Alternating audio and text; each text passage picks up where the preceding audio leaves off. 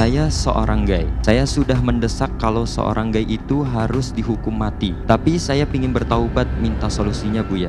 Tolonglah Buya kalau bisa jemput saya. Buya minta tolong saya ingin bertaubat. spesial menolong orang-orang. Jadi kalau anak orang-orang seperti yang Anda, gay dan yang lainnya itu gay, yakni homo lesbi ini, kalau kita menolong orang semacam ini pahalanya double. Orang berzina melakukan satu dosa, tapi fitrahnya masih normal.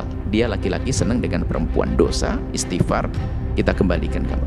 Tapi kalau orang punya masalah gay, Anda bisa menolongnya double pahalanya. Menghindarkan mereka dari melakukan kekejian, yang kedua mengembalikan mereka dalam kenormalan pahala. Maka dosa yang sangat dosa yang melegitimasi, yang merestui dan melestarikannya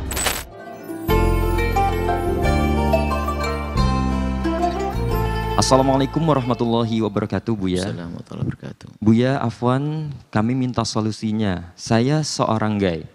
Saya sudah mendesak kalau seorang gay itu harus dihukum mati. Tapi saya ingin bertaubat minta solusinya Buya. Ayah saya sudah meninggal, setiap hari saya nangis-nangis dan nangis. Tolonglah Buya kalau bisa jemput saya. Sekarang saya dipojokkan, maksudnya dijauhi sama orang-orang. Tidak ada orang yang merangkul saya, seolah-olah tidak ada perlindungan. Buya minta tolong, saya ingin bertaubat. Terima kasih. Wassalamualaikum warahmatullahi wabarakatuh. Penanya yang mulia, hati Anda baik, Anda rindu untuk kembali kepada Allah. Itu poin yang terpenting yang harus disadari. Tidak ada yang sempurna di dalam beragama. Orang baik di dalam sholatnya misalnya, kadang keropos di sisi lain. Kadang orang rajin puasa dan rajin sholat, tapi kadang masih ada sering gunjing orang ada.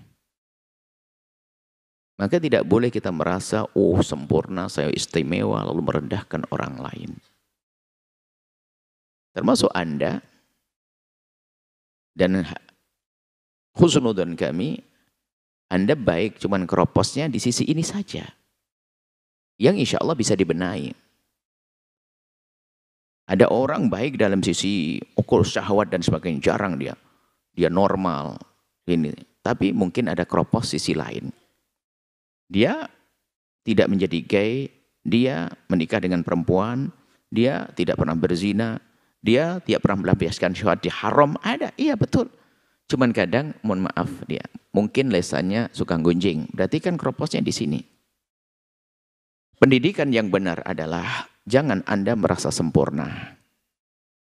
Pandai-pandailah Anda mencari kekurangan diri Anda.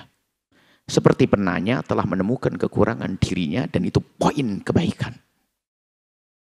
Yang kedua, jika ada orang melakukan sesuatu kesalahan, apalagi didasari setelah itu ia sadar akan kesalahan tersebut, tidak perlu untuk kita rendahkan. Jangan dihinakan, jangan dikucilkan. Apalagi ada kemauan untuk kembali, hendaknya kita tolong dengan bermacam cara. Bahkan kalau Anda orang kaya punya uang, habiskan harta Anda untuk menolong dia. Jika Anda seorang punya jabatan, jabatan Anda untuk menolong dia. Maksudnya apa? Menolong saudara itu penting. Maka wahai penanya, Anda tidak usah ragu. Yang merendahkan Anda perlu belajar lagi dia. Orang melakukan kesalahan bukan untuk kita nistakan kok. Muslim hendaknya kita tolong. Bukan kita rendahkan, tidak. Bahkan merendahkan justru dilarang. Suatu ketika ada seorang laki-laki mabuk. Setelah mabuk ketangkap. Setelah tangkap dihukum. Terbukti dia melakukan kesalahan. Rupanya orang-orang melihat dia itu dengan melihat kerendahan. Ahzakallah. Allah merendahkan kau wahai pemabuk. Begitu. Nabi dengar. Nabi punya reaksi. Reaksi menolong dia. La tu'inu syaitan alaih. Jangan kau bantu setan untuk kembalikan dia di dalam kehinaan. Sudah mau baik, kenapa kau hinakan dia? Besarkan hatinya untuk kembali. Maka yang bertanya, ayo datang. Sini.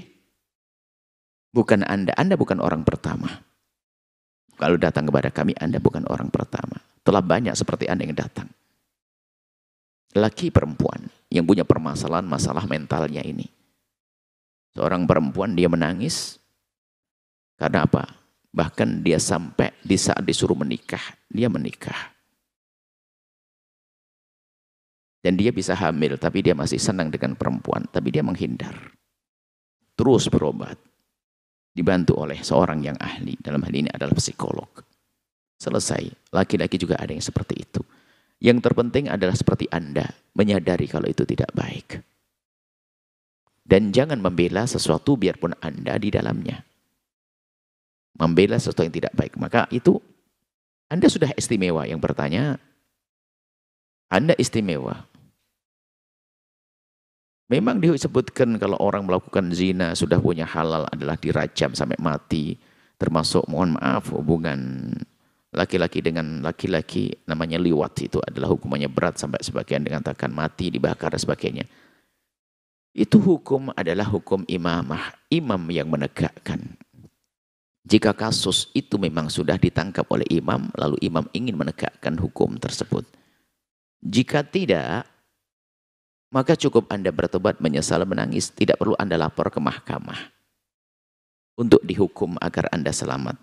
Kalaupun Anda melaporkan pengen dihukum juga sah. Karena ada pada zaman itu ada namanya ma'is sama ghamidiyah mengadukan tentang permasalahannya. Tapi para ulama memahami dari kisah Nabi menganjurkan dosa-dosa semacam itu hendaknya ditutup. Cukuplah Anda menangis kepada Allah yang pernah kepleset dalam zina. Enggak perlu Anda bercerita kepada siapa pun atau ngajukan ke mahkamah agar Anda dirajam atau Anda dicambuk. Tidak. Akan tapi tutup tutup mengadulah kepada Allah, mohonlah kepada Allah. Allah Maha Pengampun. Berjanji untuk tidak mengulangi. Serius, selesai. Anda pun juga demikian. Dan bisa sembuh, jangan mengatakan tidak sembuh. Ada banyak yang sembuh. Banyak seperti Anda sembuh. Bahkan suatu ketika kita duduk dengan satu orang, kami kaget. Dia belajar-belajar untuk benah diri sampai sempurna. Buya tahu masa lalu saya. Mana? Buya pengen lihat fotonya. Foto ya saya lihat dong laki-laki saya lihat. Fotonya oh perempuan. Hah, ini foto kamu dulu. Iya bu ya dulu. Dia di pergambar perempuan betul kaget. Jadi dia menunjukkan foto masa lalunya rupanya dia laki-laki. Dia berdandan dengan perempuan. Jadi saat menunjukkan fotonya ya kita mau-mau saja. Mana fotomu dulu? Kaget kita. Jadi memang cantik betul dia waktu dulu. Karena lagi. Sekarang sadar, wah lihat ke laki-lakiannya sudah. Kalau bisa piara jenggotmu nanti. Maksudnya, jangan mengatakan Anda tidak bisa sembuh. Itu adalah seperti saya punya penyakit mata, diobati sembuh penyakit koreng, Anda sakit. Dan di saat dikatakan Anda sakit, Anda jangan marah. Karena di saat Anda dikatakan sakit untuk diajak sembuh. Makanya yang perlu dimarahi adalah orang yang menjadikan penyakit itu untuk dipiara. Makanya kita ngritisi sebagian melegitimasi hubungan itu adalah membiarkan koreng atau penyakit atau ketidakbaikan terus berlanjut. Yang merestui misalnya, lo kok malah dinikahkan lagi dengan laki, perempuan dengan perempuan. Anda tidak menolong. Itu bapaknya juga tidak terima saudara. Maka justru cara adalah Anda ajak diskusi. Anda fahamkan dia. Karena dia sendiri mikir, saya tidak akan punya anak dengan Ismail, nggak punya keturunan. Biarpun dalam hati nuraninya rindu keturunan. Hanya ada beberapa hal yang belum ada di dalam pikirannya adalah cara sembuhnya. Karena selama ini adalah dia syahwat lagi dengan lagi syahwat beneran dia. Sampai suatu kira seorang perempuan kalau dia saya melihat perempuan, buya saya gemeteran. Perempuan padahal ajib. Saya kalau melihat perempuan gemeteran. Maka dikatakan perempuan cantik seperti kamu tidak boleh duduk dengan laki-laki, tidak boleh duduk dengan perempuan. Kalau duduk dengan laki-laki, laki-laki yang bakal terpesona dengan kamu, kalau kamu duduk dengan perempuan, kamu yang terpesona dengan perempuan. Iya bu ya, iya. Maka segera berobat. Perempuan ini, dia punya kecantikan. Enggak kebayang, ternyata dia dengan laki-laki tidak semangat. Tapi dengan proses yang panjang sembuh. Dan banyak kisah orang sembuh, wahai saudaraku dan saudariku yang punya kelainan. Maka tolonglah berubah, ingat Allah, ingat masa depan akhirat. Di dunia pun juga. Anda akan akan akan merasakan bahasanya ada kekurangan. Anda tidak menikah dengan yang normal dan seterusnya. Belum lagi di akhirat. Masalah hukuman di akhirat itu kan mudah asalkan kita tobat. Dengan Allah kan gampang. Yang repot dengan manusia tetap menghujat biarpun itu masa lalu kan begitu. Dengan Allah ternyata begitu mudahnya hei hamba Allah. Saudaraku yang diuji dengan kesenangan senang dengan sejenis. Lesbi, homo. Anda masih bisa kembali. Kami seru dari mimbar mulia ini. Amini tolong. Amini wahai Anda yang diuji oleh Allah dengan senang dengan sejenis homo dan lesbi ilat ini didoakan manusia sejagat. Semoga Allah mengembalikan Anda kepada kenormalan. Amin. Anda yang mendengar suara ini, Anda tidak usah ragu. Allah Maha Kasih. Seperti Allah bisa memberikan Anda sakit seperti itu, Allah juga yang bisa mengangkat penyakit Anda. Tapi jangan Anda bela. Biarpun nanti ada di stempel dengan syariat itu dosa dan sebagainya, itu adalah stempel syariat. Tapi secara pribadi Anda masih bisa sembuh. Anda bisa sembuh. Adapun yang bertanya, Anda bisa datang nanti diberi petunjuk-petunjuk seperti apa. Kalau urusan menjauhi dari kemaksiatan itu sepertinya kekuatan kita di dalam melawan hawa nafsu. Mohon maaf, Anda seorang gay. Yang di saat melihat laki-laki Anda sahwat. Kemudian Anda punya iman. Anda akan menghindar kok. Tidak beda dengan saya yang normal, melihat perempuan cantik, ada syahwat. Apakah langsung saya zinai? Kan enggak juga. Jadi, yang enggak boleh menyerah dengan syahwatnya ini. Apakah setiap saya melihat perempuan lalu saya harus gauli dia? Lah enggak juga. Apakah di saat saya tidak menggauli berarti saya tidak syahwat? Enggak juga. Kan ada rambu-rambu. Jadi tidak ada perbedaan antara Anda yang saat ini Anda yang bertanya, Anda di saat melihat laki-laki anda sahwat tidak beda dengan saat saya melihat perempuan lalu saya sahwat. Enggak ada sama sekali perbedaan. Sama-sama syah, syahwat. Apa yang menjadikan Anda menghindar? Yang menjadikan Anda bisa menghindar dari dia seperti saya sebab saya menghindar dari perempuan itu. Pertama adalah rasa takut kepada Allah. Selesai. Saya bukan berarti saya tidak syahwat. Oh, perempuan cantik dia. Mempesonakan dia. Syahwat. Gimana tidak? Tapi saya tidak melakukan. Kenapa? Ada rasa takut kepada Allah. Bisa saja sahwat saya lebih gede daripada sahwat Anda di saat melihat laki-laki. Anda laki-laki melihat laki-laki. Bisa saja sahwat lebih gede. Cuman semuanya sama.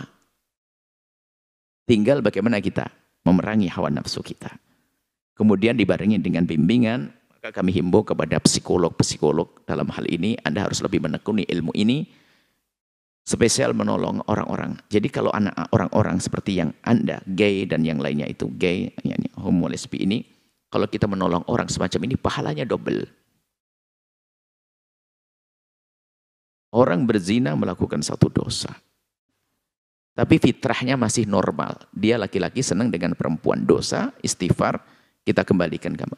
Tapi kalau orang punya masalah gay, Anda bisa menolongnya double pahalanya menghindarkan mereka dari melakukan kekejian, yang kedua mengembalikan mereka dalam kenormalan pahala.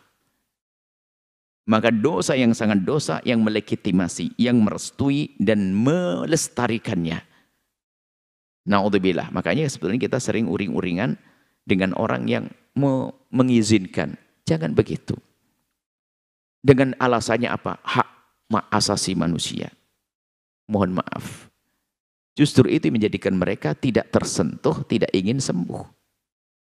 Bahkan malah menjadikan orang lain harus ikut sakit kayak dia. Masa toleransi begitu? Jadi tolonglah wahai saudara-saudari yang saat ini Anda diuji dengan penyakit seperti itu, ingat Anda punya Tuhan Allah. Kami tidak pernah merendahkan Anda. Kami tidak pernah mencaci Anda. Tapi kami menyeru Anda, ayo untuk kembali kepada normal. Senormal ibu Anda senormal ayah Anda, senormal saudari Anda, senormal saudara Anda, senormal teman Anda. Hingga Anda akan menjalani hidup seperti orang lain. Hidup yang normal. Nuhibbukum fillah. Kami cintai semua karena Allah. Khususnya Anda yang bertanya dan yang serupa. Ingat, itu penyakit dari Allah dan Allah yang akan menyembuhkannya. Yang menyembuhkan adalah Allah tapi dimulai dari diri Anda sendiri. Semangat Anda untuk terbebas dari kelainan ini. Semoga Allah mudahkan Anda yang bermasalah. Dan yang lain jangan merendahkannya. Wallahu a'lam bishawab. Sahabat Al TV, Setelah menyaksikan video ini, jangan lupa bersolawat kepada baginda Nabi Muhammad. Sallu ala Nabi Muhammad. Allahumma sholli alaihi wa ala alihi wa sahbihi.